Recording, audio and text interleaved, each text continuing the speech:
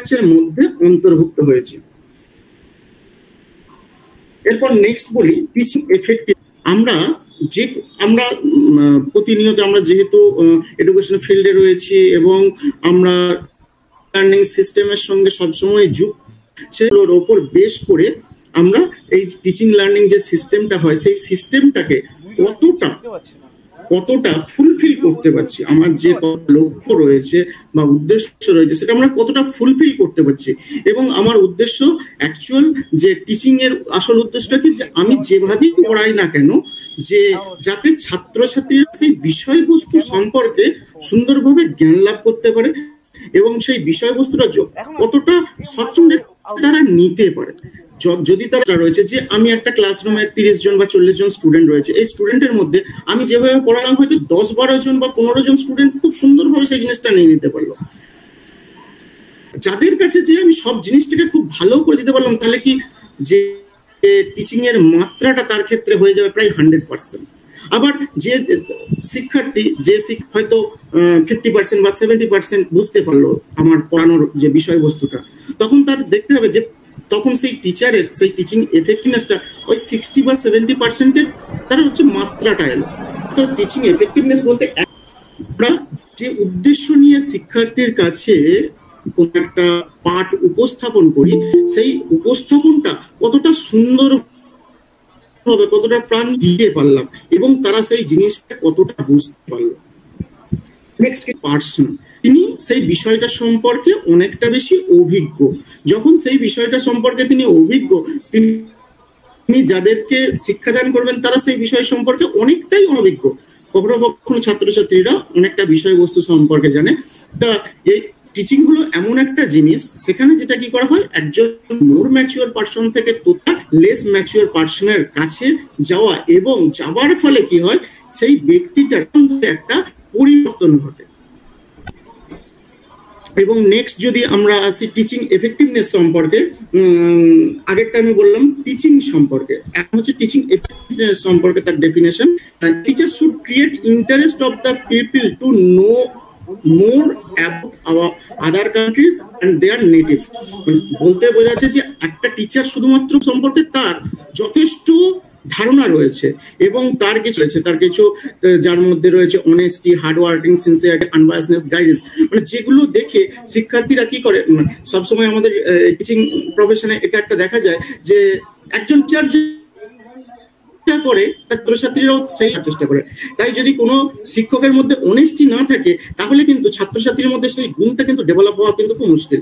যদি দেখা যায় যে কোনো টিচার বায়াস্ট যে কাউকে বেশি নম্বর দিয়ে দিচ্ছে, ভালো স্টুডেন্ট যে কম নম্বর দিয়ে দিচ্ছে এরকম যদি একটা বায়াসনেস বা কাউকে ক্লাসরুমের মধ্যে বেশি জোর দিচ্ছেন, অন্যদের জোর দিচ্ছেন না, বা সবসময় তাকে প্রেফার করছেন, এরকম ব্যাপারটা দেখা যায়, তাহলে কিন্তু শিক্ষার্থীরা কিন্তু সেই বিষয়টাকে কিন্তু অনুকরণ করবে। অনুকরণ করলে কখনোই আমরা এটা বলব না যে একটা টিচারের এই গুণাবলীগুলো থাকা উচিত।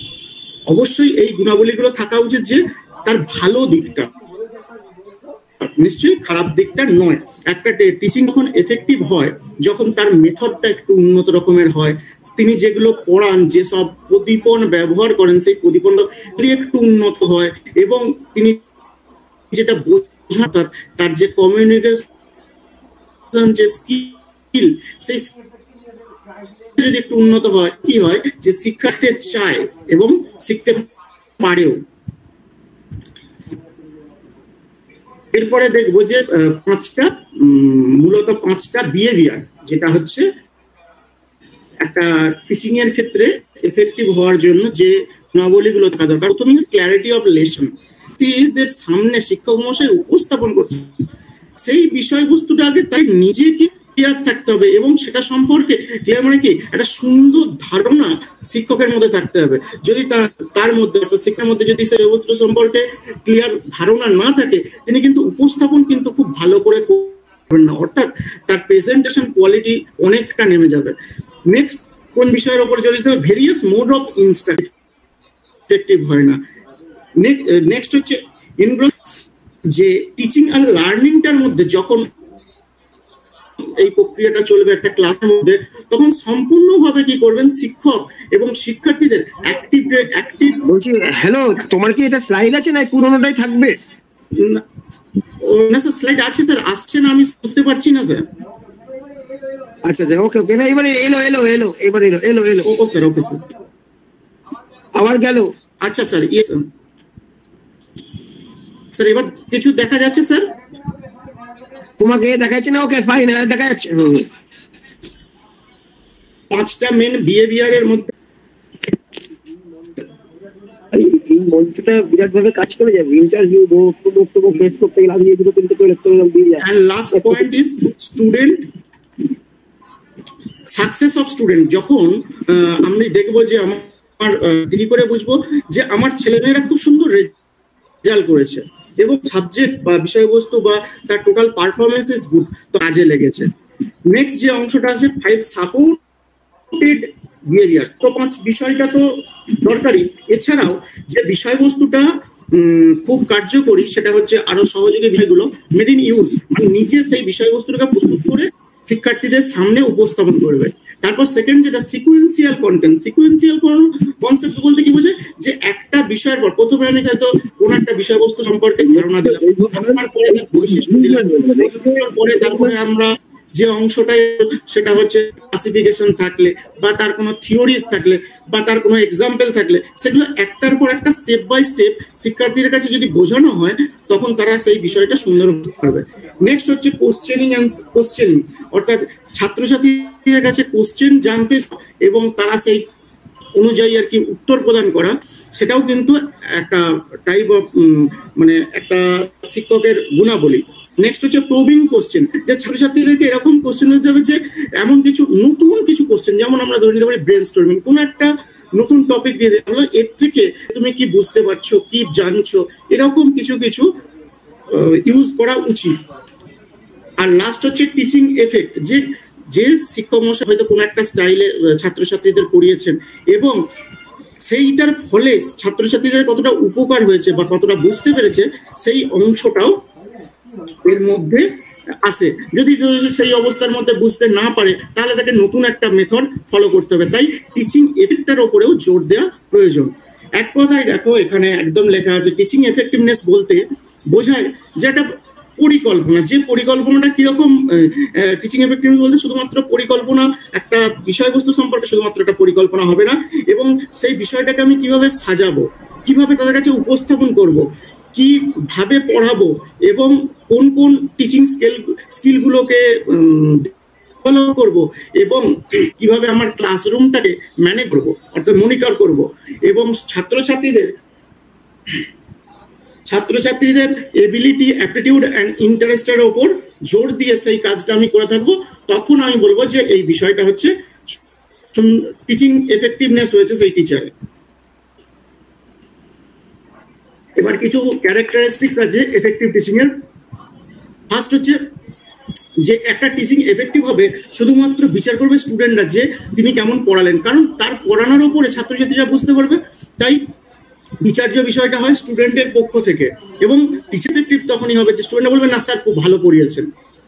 হচ্ছে যে যখন ছাত্রছাত্রীদের ইন্টারেস্ট বা তার অ্যাটিটিউডের ওপর জোর দিয়ে শিক্ষক মশাই ক্লাসে কোনো লেসন দেন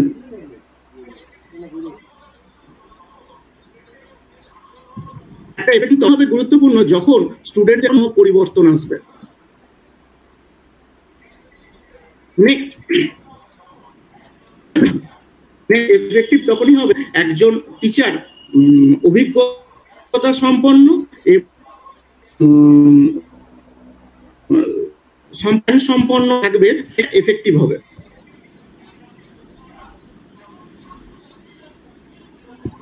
ডিউরিং ছাত্রছাত্রী করবে কখন কোশ্চেন জিজ্ঞাসা করে? যখন সেই বিষয়বস্তুটা খুব ভালো করে বুঝতে পেরেছে বা বুঝতে যে কোথাওটা আটকে গেছে। অর্থাৎ যখন ক্লাসরুমের মধ্যে ছাত্রছাত্রীরা কোশ্চেন করবে, তখনই বোঝা যাবে যে, না, এই টিচিংটা এফেক্টিভ হচ্ছে বা ছাত্রছাত্রীরা বুঝতে পারছেন।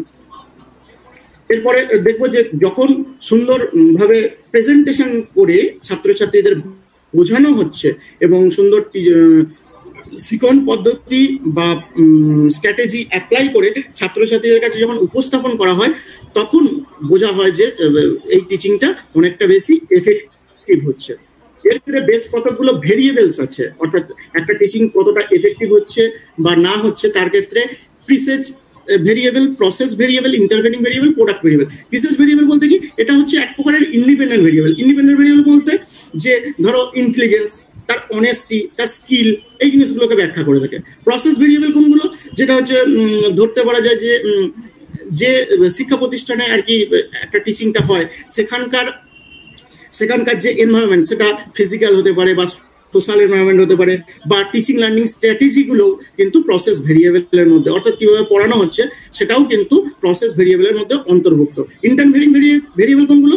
যে ফ্যামিলি কন্ডিশন যে তার ফ্যামিলিতে হয়তো অনেকেই আজকে ক্লাসে জয়েন করতে পারেনি। যারা জয়েন করতে পারেনি, হয়তো তার অন্য একটা কাজের মধ্যে সে ইনভলভ হয়ে আছে। তাহলে এই এই যে বিষয়টা, এটা হচ্ছে ইন্টারভেরিং ভেরিয়েবলের মধ্যে। লাস্ট হচ্ছে প্রোডাক্ট ভেরিয়েবল প্রোডাক্ট ভেরিয়েবল বলতে এটা হচ্ছে অ্যাকচুয়ালি আউটকামকে বোঝানো হয়। যে একটা জিনিস শেখার পরে শিক্ষার্থীরা কি বুঝলো, কি জানলো বা কি পেল। অর্থাৎ শিক্ষার্থীর মডিফিকেশন মানে আচরণের পরিবর্তন। এরপরে আমরা আসি যে ডাইমেনশন অফ টিচিং এফেক্টিভনেস এর মধ্যে কি হয় যে কত সুন্দরভাবে কন্টেন্টটাকে সাজানো আছে। আমরা কীভাবে কন্টেন্টটাকে সাজাই? হতে পারে সেটা সিকুয়েন্সিয়ালি হতে পারে লজিক্যালি এটাও হতে পারে এই অর্গানাই মানে কন্টেন্টটাকে সাজাতে গেলে সুন্দরভাবে ভোকাবুলার ইউজ করতে হয়। আচ্ছা কোথাও কোথাও এরকম টেকনিক্যাল টার্ম আমরা ইউজ করে থাকি, যখন টেকনিক্যাল টার্মটা ইউজ করে থাকি, সেটার ব্যাখ্যাটা কোথাও রয়েছে কিনা এই রকম দিকগুলো কিন্তু দেখে একটা কন্টেন্টকে সাজাতে হয়। নেক্সট হচ্ছে psychological basis of implementing instruction in classroom যে কীভাবে একটা ক্লাসরুমের ক্লাসরুমে পড়াতে গেলে কীভাবে পড়াবো, কোন সাইকোলজিক্যাল বেসিস দেখে। যেমন আমরা সবসময় কি করি যে জানা বিষয় থেকে অজানার দিকে যাই। এতে কি হয়, আমরা যে জিনিসটা জানি সেই জিনিস থেকে আস্তে আস্তে একটু কঠিন থেকে কঠিনতম বিষয়বস্তুতে যায় যেমন known to unknown fact simple to complex concrete to abstract particular to general এরকম কতগুলো বিষয়বস্তুর মধ্যে দিয়ে আমরা কি করি, আমাদের ক্লাসরুমটাকে পরিচালিত করি। আর তিন নম্বর হচ্ছে appropriate use of teaching skill teaching skill বলতে আমাদের এনসিটি আর কি কুড়িটা টিচিং স্কিলের ওপর গুরুত্ব দিয়েছে। এর থেকে সারমর্ম করলে কয়েকটা বিষয় আছে, যেমন মোটিভেশনাল স্কিল আচ্ছা এরকম হতে পারে প্রেজেন্টেশন স্কিল এরকম হতে পারে ইভলিউশন স্কিল কোথাও কোথাও এরকম ফাইভ ই আর কি মাধ্যমেও আর কি পড়ানো হয় এবং সেটার মাধ্যমে পড়ানোটাও কিন্তু ছাত্রছাত্রীদের কাছে পড়ানো হবে। সেই বিষয়বস্তুটা অনেক ভালো করে শিক্ষার্থীরা বুঝবে। বি হচ্ছে ইউজ অফ ডিফারেন্ট টেকনিক যে আমি কোন কোন মাধ্যম প্রয়োগ করে এই বিষয়বস্তুটা করাবো।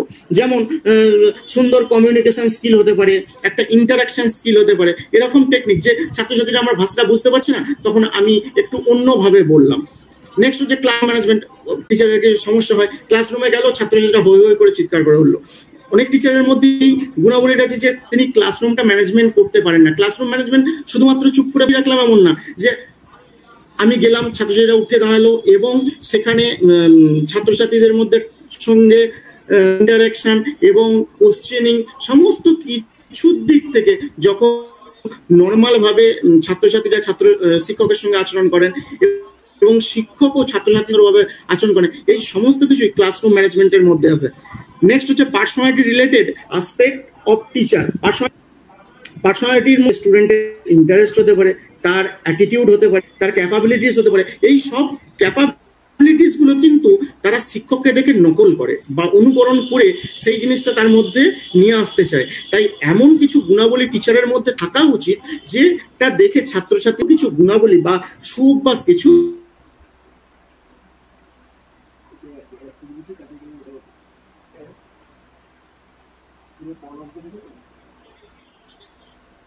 বেশ কিছু সমস্যা আছে। ল্যাক অফ কোয়ালিফাইড পার্সোনাল অর্থাৎ বা যোগ্যতম লোকজনের অভাব। অর্থাৎ যারা এই টিচিং লার্নিং সিস্টেমের মধ্যে রয়েছে বা রিসার্চ সিস্টেমের মধ্যে রয়েছে, সেখানে সব জায়গায় অভিজ্ঞ এক্সপার্ট পাওয়া খুবই মুশকিল। নেক্সট হচ্ছে ল্যাক অফ মোটিভেশন এখানে ছাত্রছাত্রীদের মধ্যে প্রেষণার অভাব দেখা যায় যে কাজটা হয়তো ভালো একটা কাজ শুরু করল, কিন্তু কাজটা করতে যে মাঝ অবস্থায় থামিয়ে দিয়ে একটা অন্য কাজে ঢুকে গেল।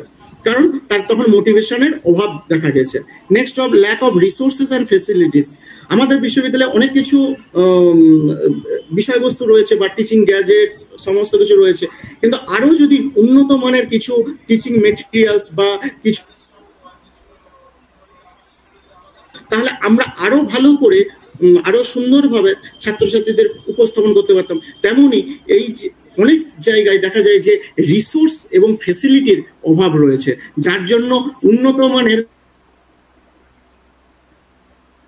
প্রবলেম অফ ফাইন্যান্স অর্থাৎ অর্থ যে রিসার্চ করতে করতে এখন যদিও কিছুটা সাবলীল হয়েছে যে রিসার্চ করতে করতে বেশ কিছুটা ফিনান্সিয়াল অ্যাসিস্ট্যান্স দেয়, কিন্তু যে অ্যাসিস্ট্যান্স আমাদের হয়তো, আমাদের মতন সাবজেক্টের ক্ষেত্রে ঠিক আছে, কিন্তু সায়েন্স বেস যে সব সাবজেক্ট রয়েছে সেসব সাবজেক্টের ক্ষেত্রে যে অর্থ প্রতি সামান্য, যে ক্ষেত্রে উন্নত মানের উন্নত মানের কাজ হতে বাধা দেয় আরবিট্রেন আরবিট্রারিনেস যে আমি যা ইচ্ছে তাই করলাম এরকম করলে হবে না। একটা সিস্টেমেটিক ওয়েতে কোনো একটা বিষয়বস্তু উপস্থাপন করতে হবে।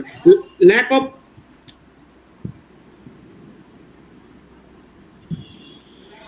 lack of coverage lack of R next আসি trends in research in teacher education যে বর্তমানে এখন কীরকম ট্রেন্ডগুলো দেখা যায় যে টিচার এডুকেশনের ক্ষেত্রে তার গবেষণার ক্ষেত্রে? কোয়ান্টিটিভ লিপ কোয়ান্টিটিভ বলতে অ্যাকচুয়ালি বোঝানো হয় যে একটা বিরাট উনিশশো ছাপান্ন সালে ডক্টর ব্যানার্জি যখন এই টিচার এডুকেশনের রিসার্চ করতে শুরু করেন উনিশশো ছাপান্ন সালে, তখন কি দেখা যায় যে তিনি ছাপ্পান্নটা রিভিউ করেছিলেন। উনিশশো তিয়াত্তর দেখা যায় যে বাহাত্তরটা ওর ছিয়াত্তরটা এরকম রিভিউ করেছেন। পরবর্তীকালে উনিশশো তিরাশি সালে দেখা যায় যে এই রিভিউটা হয়ে গেছে ওয়ান হান্ড্রেড সিক্সটিন যে হঠাৎ করে এই বাহাত্তর, চুয়াত্তর থেকে একশো ষোলোতে চলে আসলো, এর মাধ্যমে কি হয়েছে যে একটা গ্যাপ পড়ে গেছে। গ্যাপটা হচ্ছে সময়গত দিক, এর গ্যাপ সেকেন্ড হচ্ছে systemisation of instruction systemisation of instruction মানে যে যে মাধ্যমে আর কি চলছে, সেটা একটা নির্দিষ্ট পদ্ধতি অনুসরণ করে আর কি রিসার্চটা চলবে। তিন নম্বর হচ্ছে লার্জার কভারেজ অফ অবজেক্টিভ আমরা যখন একটা কন্টেন্ট ঠিক করি বা গবেষণার জন্য একটা এরিয়া ঠিক করি, সেই এরিয়াটা আমরা ধরে নিই একটা বিরাট অংশ। কিন্তু আমরা বিরাট অংশ ধরলে তো আর বিরাট অংশটার কাজ আমরা করে ফেলতে পারি না। আমাদের সবসময় কি করি যে একটা বড় এরিয়া থেকে তার একটা ছোট্ট কন্টেন্টকে বেছে নিই এবং সেই কন্টেন্টটার উপরে জোর দিয়ে তার কিছু অবজেক্টিভ হয়। না কি করি? কাজ করে থাকি। এই যে এইভাবে যে কাজ করার যে সিস্টেম এটাই হচ্ছে বর্তমান দিনের ট্রেন্ড নেক্সট হচ্ছে অল্টারনেটিভ মডেল প্রথমে আমরা যখন এই টিচিং লার্নিং সিস্টেম আসি হারবার্ডিয়ান মডেল ধরে চলেছি। তারপরে advance organiser model concept model এরকম অনেক মডেল আর কি আস্তে আস্তে ডেভেলপ করেছে। ডেভেলপ করেছে এবং আমরা সেগুলোকে আস্তে আস্তে প্রয়োগও করেছি। স্যারি নিজে একটি আমরা দেবেন্দ্রবাবু আর কি, একটি মডেল ডেভেলপ করেছেন সেটা হচ্ছে ID model interest diversification model যে মডেলটা যেটার উপর আমি একটুখানি কাজ করছিলাম, তো ইন্টারেস্ট ডাইভার্সিফিকেশন মডেলটা এরকমই যে একটা স্টুডেন্টের ইন্টারেস্টটাকে কীভাবে তার মধ্যে মাল্টিপ্লিকেশন হতে পারে, তার সাবস্টিটিউশন হতে পারে বা তার শিফটিং হতে পারে। এরকম বেশ কিছু ট্রেন্ডস দেখা যায়। But implementation of research in teacher education এখান থেকে কি করা হয়? মানে রিসার্চের ক্ষেত্রে বেশ কতগুলো গুরুত্বপূর্ণ বা তাৎপর্য থাকে, সেই তাৎপর্যগুলো কি? যে যে কোনো রিসার্চ থেকে একটা একটা ফাইন্ডিংস বা একটা মূল বিষয়বস্তু বেরিয়ে আসে। নেক্সট কি করে? যে রিসার্চ মানেই তো একটা নিত্য নতুন বিষয় ডেভেলপ করা। সেই ডেভেলপের ক্ষেত্রে নতুন মেথোলজি চলে আসে। এবং নেক্সট আসে যে কিছু ইনোভেটিভ পেডাগজি অ্যাকচুয়ালি ইনোভেটিভ পেডাগজির মধ্যে মেথড বলতে এটা বোঝানো হয় যে অ্যাকচুয়াল নিউ টিচিং মেথড যে আরও বেড়ে থাকে। এরপরে আসি এতক্ষণ আমরা বললাম যে স্কুল টিচিং এফেক্টিভনেস এরপরে আসে স্কুল এফেক্টিভনেস স্কুল এফেক্টিভনেস বলতে একটা স্কুলের মধ্যে অনেক কিছু বিষয় থাকে, যেমন কমিটি থাকে, তার একাডেমিক স্টাফ কাউন্সিল থাকে, তার অ্যাডমিনিস্ট্রেটিভ বডি থাকে, বা এরকম থাকে যে একাডেমিক স্টাফ কাউন্সিল বা ফিনান্স ফিনান্সের পার্ট থাকে, এরকম বেশ কতগুলো দিক থাকে। এবং সব থেকে বড় যে জিনিসটা বিদ্যালয়ের ক্ষেত্রে প্রয়োজন হয়, সেটা হচ্ছে স্কুল এনভায়রনমেন্ট স্কুল এনভায়রনমেন্ট কোনটা?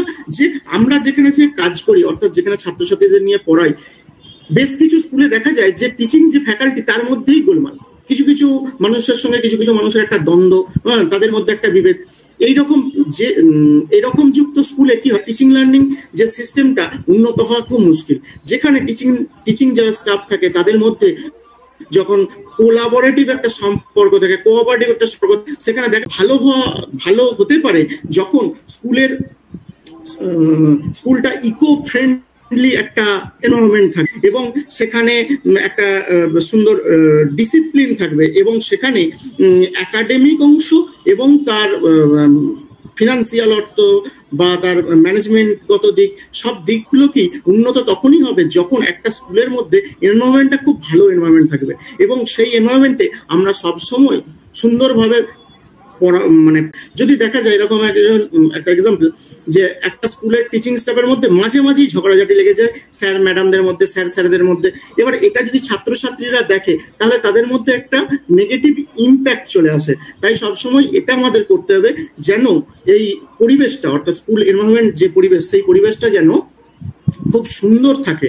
তবেই কিন্তু স্কুলের এফেক্টিভনেস আসবে। স্কুলের এফেক্টিভনেস শুধুমাত্র একটা বিষয়ের ওপর জোর দিয়ে না, এখানে অনেক গুলো বিষয় আছে। একটা হচ্ছে স্টুডেন্ট অ্যাচিভমেন্ট ফাইভ ইন্ডিকেটর কি স্টুডেন্ট অ্যাচিভমেন্ট কি স্টুডেন্ট কত ভালো রেজাল্ট করছে? যে স্কুল থেকে ভালো রেজাল্ট করে, সেখানে দেখা যায় যে অনেক শিক্ষকই রয়েছেন যেখানে খুব ভালো বা খুব সুন্দরভাবে ক্লাসরুম টিচিংটা করেন বা লেসেন্ড ওয়েতে পড়ান এবং স্টুডেন্টের অ্যাচিভমেন্টের ওপরে দেখা হয় যে স্কুলের পারফরমেন্সটা যে স্কুল যদি ভালো পারফরমেন্স করে, তাহলে কিন্তু স্টুডেন্টদের অ্যাচিভমেন্ট অনেক ভালো হয়। নেক্সট হচ্ছে ডিসিপ্লিন রেফারেন্স ডিসিপ্লিন মানে যেখানে আর কি একটা নিয়ম অনুযায়ী চলে। সব স্কুলেই বলে যে দশটা চল্লিশে ঘণ্টা প্রেয়ারের ঘণ্টা, দশটা পঞ্চাশে।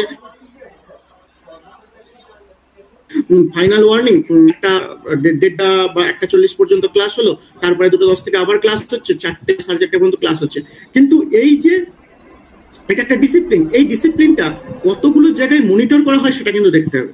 সব স্কুলে হয়তো টিফিনের পরে মিড ডে মিল খাওয়া হয়ে গেল, স্কুল থেকে চলে গেল।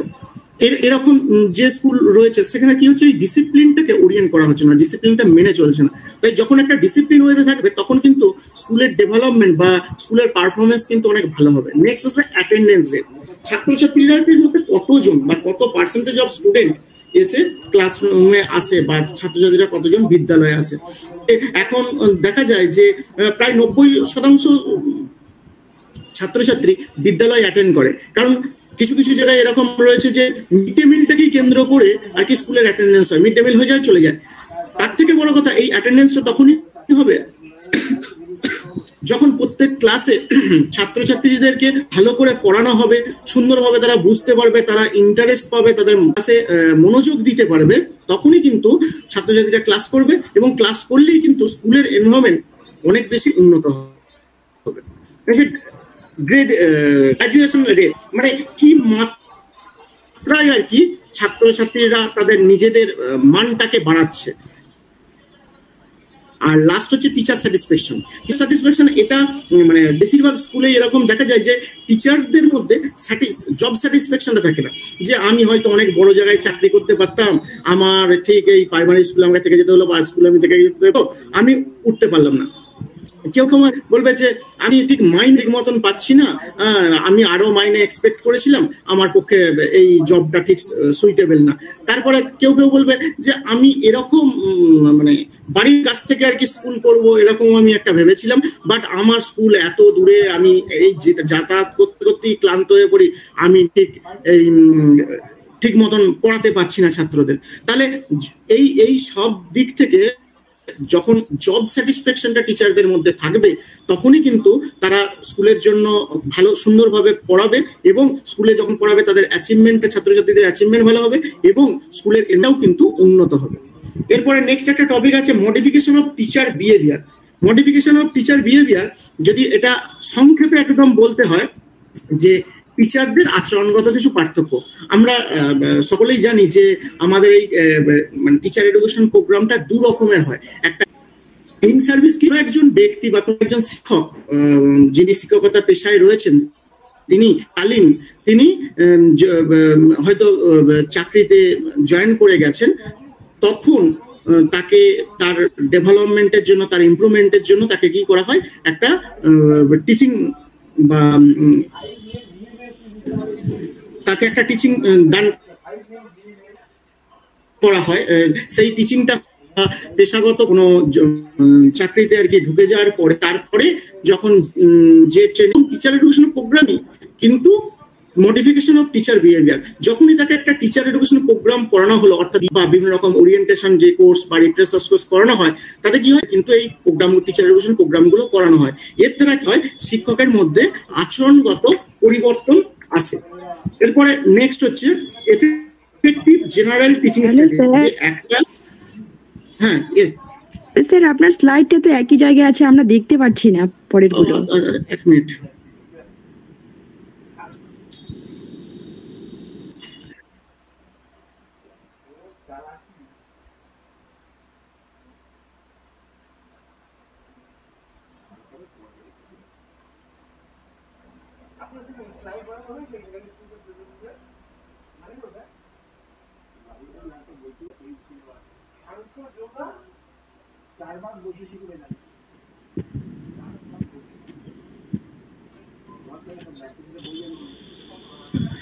বলছি কত দূর থেকে দেখা যায়নি? এর আগেরটা দেখা যায়নি? মডিফিকেশন অফ বিহেভিয়ার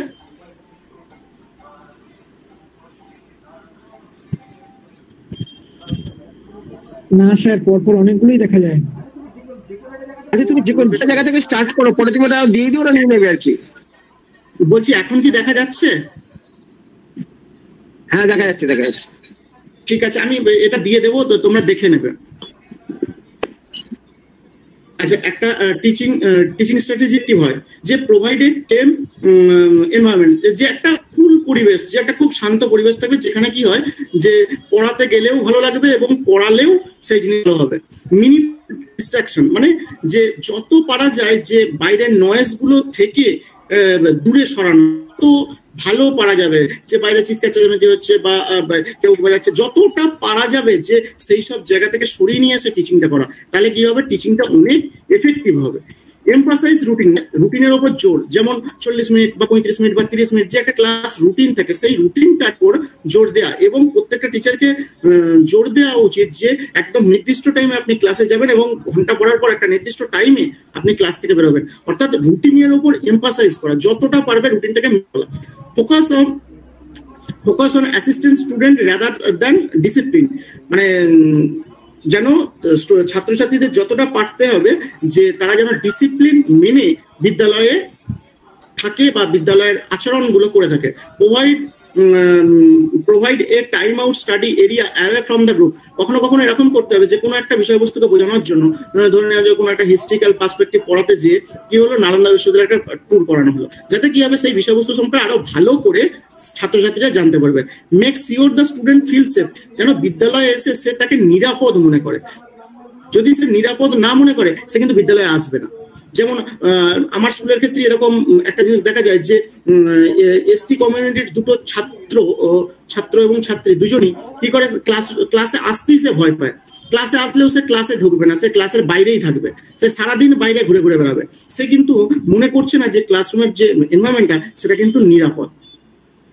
এরপরে আসি learning style and cognitive style learning style বলতে যে, একজন টিচার সে ক্লাসরুমে যতজন ছাত্রছাত্রী আছে, সবার উদ্দেশ্যেই একই রকম ভাবেই সকলের উদ্দেশ্য নিয়ে পড়ায়। এবং পড়াতে যে কি করে মানে সেই ইনস্ট্রাকশনাল অবজেক্টিভটা ফলো করে বা সেই আমাদের প্রত্যেকের শেখার ধরনটা কিন্তু আলাদা।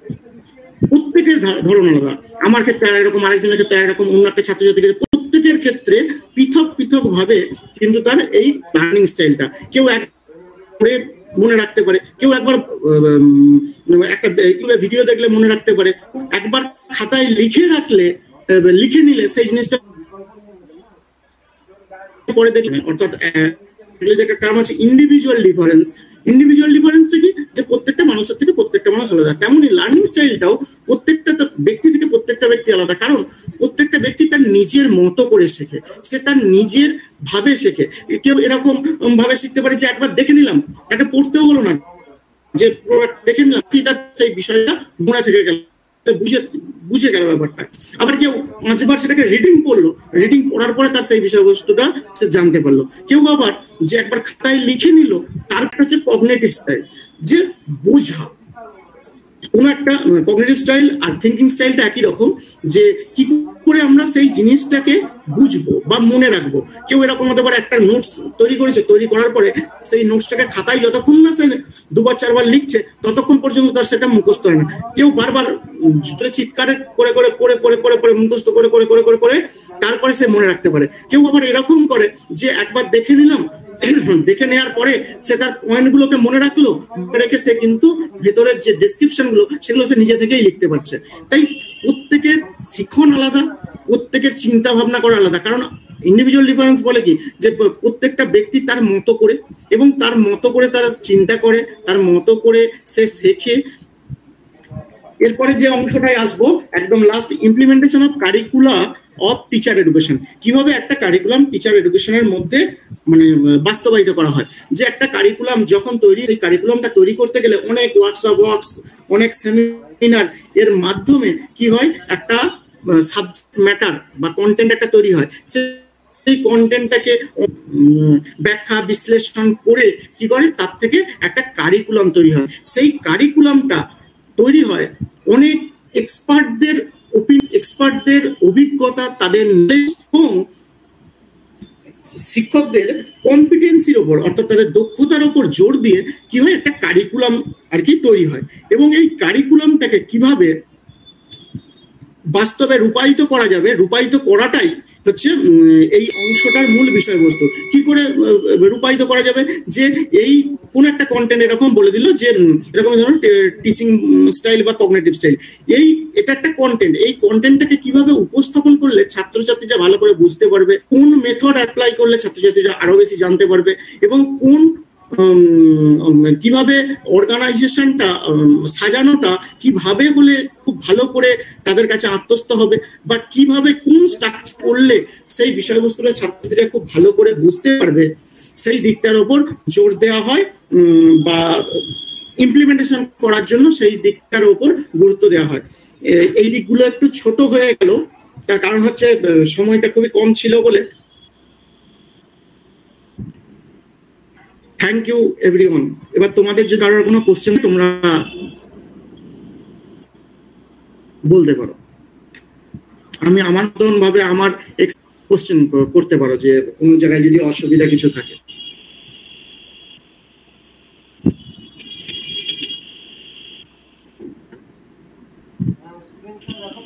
স্টুডেন্টসরা দেখো, তোমাদের যদি কোনো প্রশ্ন থাকে, দেখো। হুম।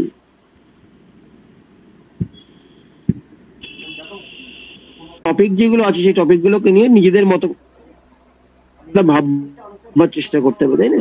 কারণ এফেক্টটা ব্যক্তিগত হয় অনেক সেটা ভাবছি আমি যেটা ভাবছি, আরেকজন সেটা ভাবছে না। সুতরাং নিজেদের মতো করে এটা ভাবা সম্ভব সেটাকে। এই জন্য রিসার্চ এই জন্য রিসার্চ রামকৃষ্ণ মিশন একরকম স্কুল এফেক্টিভনেস খ্রিস্টান মিশনের আর একরকম স্কুল এফেক্টিভনেস হম কল্যাণী শিক্ষায়তন আর একরকম এফেক্টিভনেস অর্থাৎ এগুলো কিন্তু প্রতিষ্ঠান প্রতিষ্ঠান টেবেন এগুলো ভ্যারি করে যায়, ঠিক আছে। তো তার ফলে যেটা শুনলে তার ভিত্তিতে তোমাদের নিজস্ব কোনো সাজেশন কোনো বক্তব্য, কোনো ভাবনা যদি থাকে, বলো।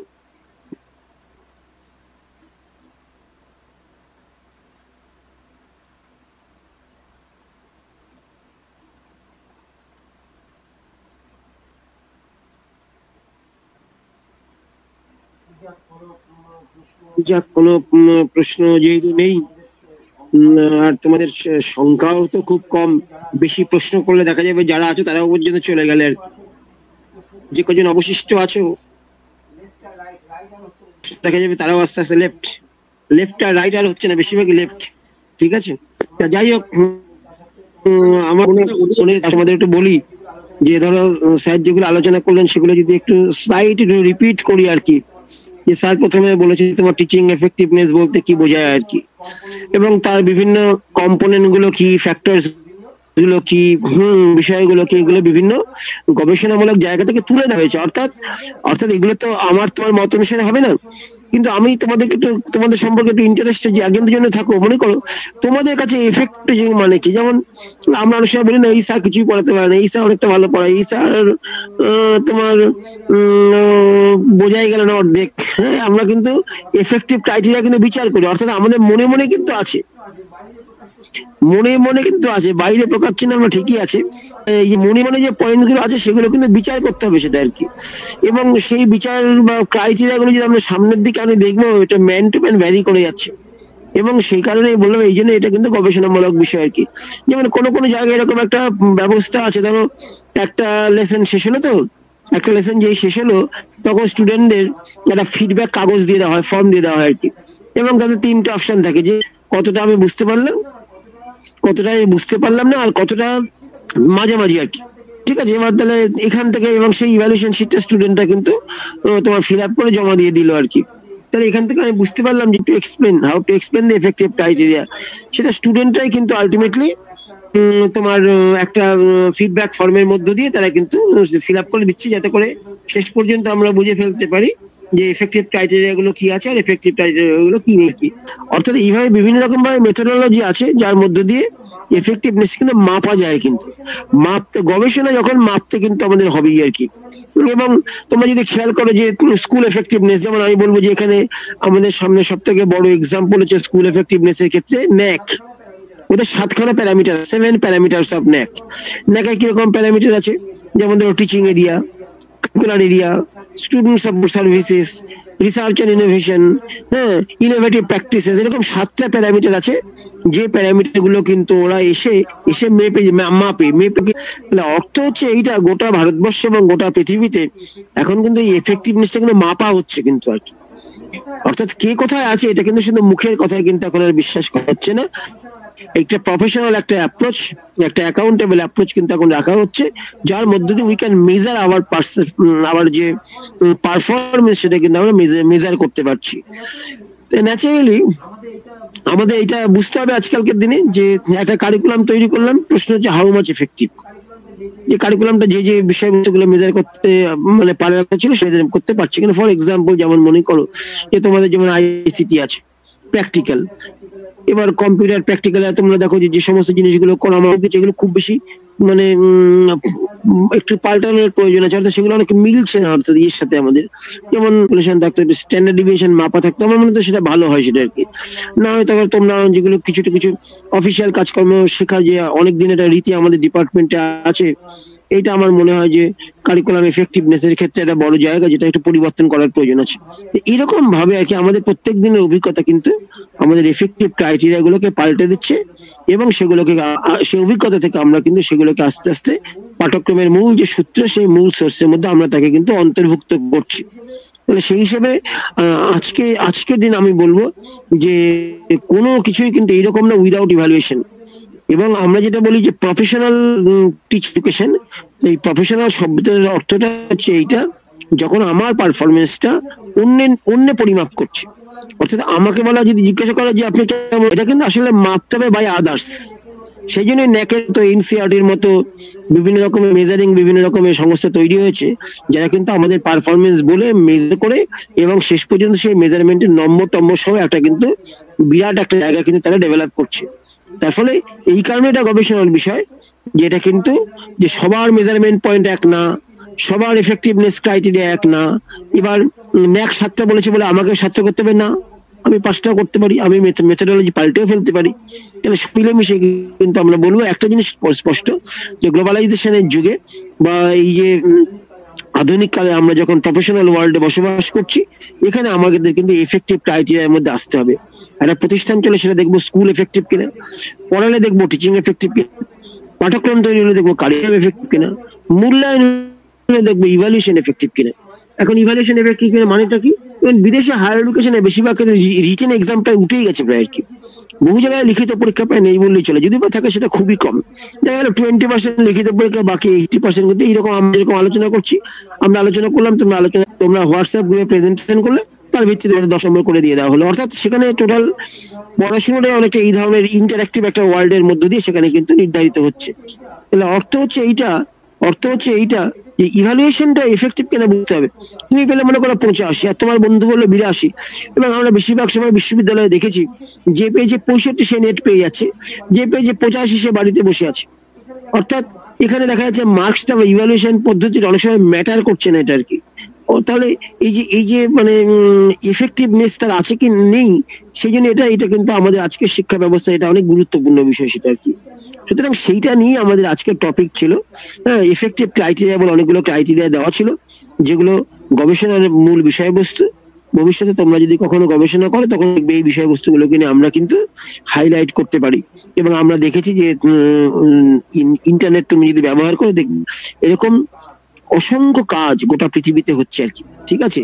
সেটা তোমার ওয়ার্ল্ড হেলথ অর্গানাইজেশন থেকে আরম্ভ করে ইউনিসেফ থেকে আরম্ভ করে ইউনেস্কো থেকে আরম্ভ করে সমস্ত বড় বড় প্রতিষ্ঠানের কিন্তু এই ধরনের কিন্তু কাজ আছে, যারা এফেক্টিভ ক্রাইটেরিয়া গুলোকে বার করছে মেজার করছে, প্রচার করছে, সেগুলোকে কিন্তু কাজে লাগানোর চেষ্টা করছে সেটা আর কি। তাহলে সেই জন্য আমি বলব যে তোমরা আজকে যে টপিকটা হলো, আমি আমাদের যেটা আর কি রমেশ স্যার, আমি ধন্যবাদ দেবো যে যত শিখছি আমরা সেটা শুনেছি, তোমরাও শুনেছো, এবং তার সাথে একটা জায়গা কীভাবে তার কেরিয়া হয়, কীভাবে সেটা ইন্ট্রোডাক্টরি একটা আলোচনা হবে, কীভাবে এর মধ্যে দিয়ে আমরা review of related literature develop করতে পারি, এইগুলোকে ভিত্তি করে কীভাবে আমরা প্রশ্ন পারি সমস্ত কিছুই কিন্তু একটা পার্ট অফ দ্য সিস্টেম সুতরাং এটা মোটামুটি একটা আলোচনার মধ্যে দিয়ে আমরা পেলাম। এবার আমি বলব তোমাদের যদি কোনো প্রশ্ন না থাকে, তাহলে আমরা কিন্তু সবাইকে ধন্যবাদ জানিয়ে ও স্যারকেও ধন্যবাদ জানিয়ে আমরা আমাদের সেশনটা এখানে শেষ করব। If you have any question রাখো নাহলে আমরা শেষ করব।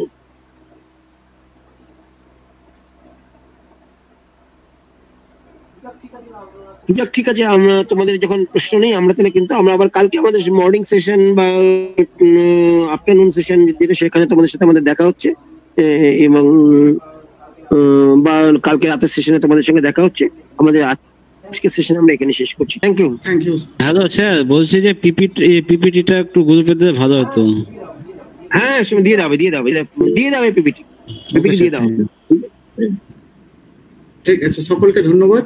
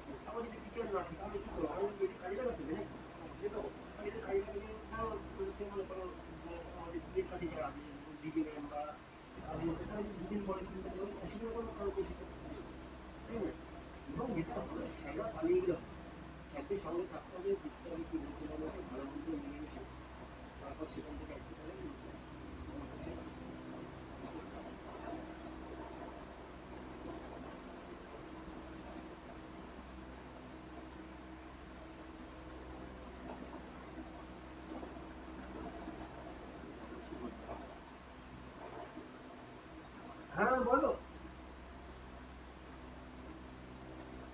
ভালো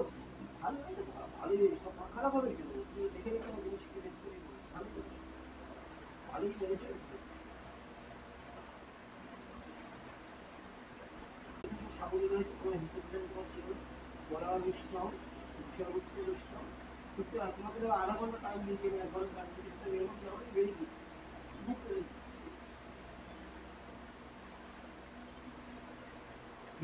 এই ধরনের প্রফেশনালাইজেশন বুঝেছি না বলছি ভালোই করেছে ভালো মনে রাখতে হবে কারণ ধরো মানে আমাদের সমস্যাটা যে কন্টিনিউ বাংলা বলে গেলে হয় কি মানে পুরো সম্পূর্ণ সমান সমান হয়ে যাচ্ছে মানে